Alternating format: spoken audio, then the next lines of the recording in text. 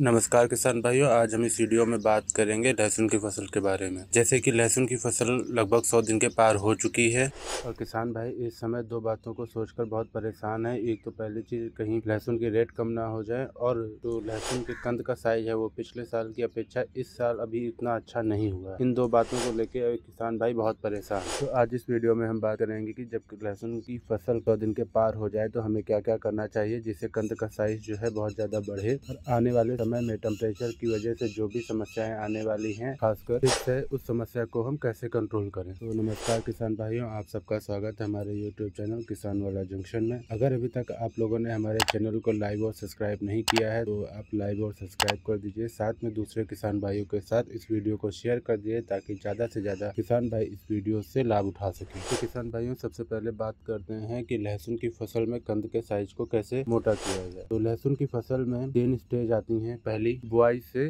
साठ दिन तक। किसान भाइयों जो पहली स्टेज आती है, वो आती है आपका लहसुन की बुआई से साठ दिन तक। इस टाइम पे लहसुन का पौधा ग्रोथ कर रहा होता है। फिर आती है दूसरी स्टेज दूसरी स्टेज जो आती है, वो आती है साठ दिन से सौ दिन के बीच की। किसान भाइयों, जो ये स्टेज होती है साठ से सौ दिन के बीच की, ये सबसे क्रिटिकल स्टेज होती है। इस समय जो किसान भाई अपने खेतों पे ज़्यादा सही से काम करता है और ज़्यादा ध्यान देता है, वो आगे चल के बहुत अच्छी उत्पादन में या कंधों के साइज़ को बढ़ा लेता है। देखिए किसान भाई, ये बात हमेशा आप लोग ध्यान रखिए। जितना अच्छा आप अपने कंधों का साइज़ चाहते हैं, जितना अच्छा आप चाहते हैं कि आपके लहसुन के कंधों का कलर सफ़ेद रहे, मज़बूत रहे और कंध आपका बहुत बड़ा शेड्यूल रहे और उत्पादन ज़्यादा रहे तो आप लोगों को इस बात का ध्यान रखना है कि आपको अपनी फ़सल को जितना हो सके उतना हरा भरा रखिए जितनी आपकी फ़सल हरी भरी रहेगी, उतना ही अच्छा आप अपना उत्पादन प्राप्त कर पाएँगे लहसुन का। किसान भाइयों, अब बात करते हैं कि आपको लहसुन की फ़सल में कौन कौन सी समस्याओं का सामना करना पड़ेगा कौन कौन सी चुनौतियों का सामना करना पड़ेगा और उनसे आपको निवारण कैसे पाना जिसमें सबसे पहली समस्या आ रही है वो है थ्रेप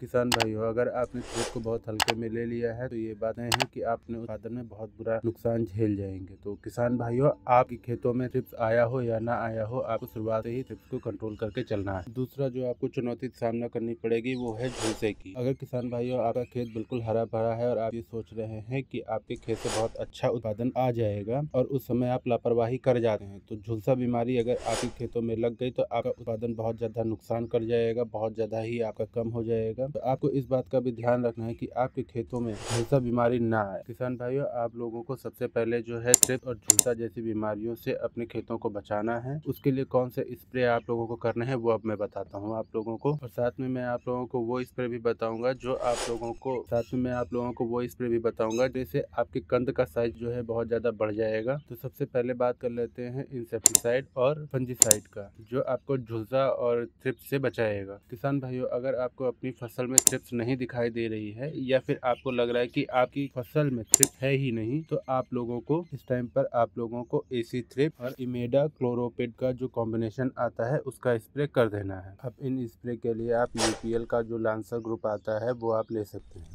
इसके साथ आप लैमडा थाइलोफिन चार परसेंट ले सकते हैं। इनको मिलाकर दोनों को साथ में स्प्रे कर दीजिए, जिससे आपको शुरुआत में ही अपनी फ़सल के अंदर थ्रिप में कंट्रोल मिल जाएगा।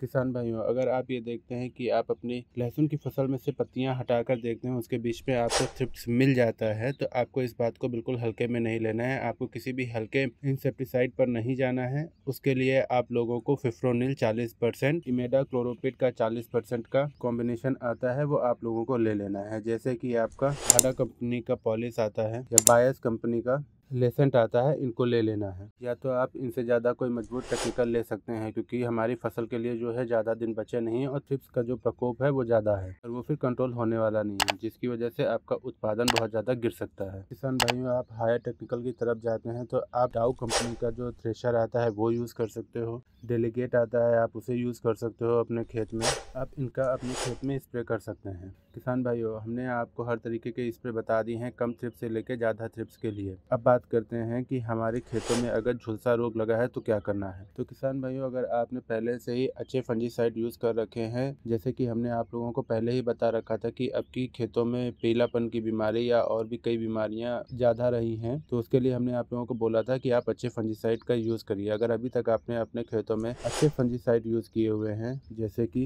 एमी स्टार टॉप आता है नेटिव आता है, जैसे कि आपने पहले नेविटो किया है, अब एमिटो स्टार टॉप कर दीजिए। आपने पहले पहले एमिस्टो टॉप कर दिया है तो आप कस्टोडिया आप कर दीजिए। किसान भाई ये बात हुई इंसेप्टिसाइड और फंजीसाइड अब बात करते हैं, बहुत से किसान भाई स्प्रे तो करते हैं, लेकिन उनका हंड्रेड परसेंट रिज़ल्ट नहीं उठा पाते हैं। तो इनका हंड्रेड परसेंट रिज़ल्ट कैसे उठाना है, इस बारे में बात करते हैं। किसान भाई जैसा आप लोगों को पता है कि आपकी लहसुन की फ़सल जो है लगभग सौ दिन के पार हो चुकी है, और इस समय आपकी लहसुन की फ़सल की पत्तियाँ बहुत सघन होती हैं और आपस में फंसी होती हैं। तो आप लोगों को इस समय पे जो आप लोग स्प्रे पहले पाँच पंप मार रहे थे, वहाँ पे आपको इन्हें डबल कर देना है। आपको जितना पानी आप ले रहे थे, उसको डबल कर देना है। जो फंजीसाइड आप ले रहे थे या इंसेक्टिसाइड ले रहे थे, उनको डबल कर देना है। किसान भाइयों, अभी तक आप पाँच पंप कर रहे थे तो अब आपको लगभग नौ से दस पंप करने हैं, तभी जाकर आप थ्रिप्स जैसी बीमारियों को कंट्रोल कर पाओगे। किसान भाइयों, आप लोगों को इस बात का ध्यान रखना है, जब आप स्प्रे करने जा रहे हैं, तब आपके खेतों में ओस नहीं होनी चाहिए। आप स्प्रे दोपहर में करिए। साथ में आपको इस बात का भी ध्यान रखना है कि आप जब स्प्रे करने जा रहे हैं, तब आपके खेत में पर्याप्त मात्रा में नमी हो। किसान भाइयों, आप अगर इन सारी बातों को ध्यान रखकर स्प्रे करेंगे, चाहे वो फंजिसाइड हो या इंसेप्टिसाइड हो या कोई भी और माइक्रो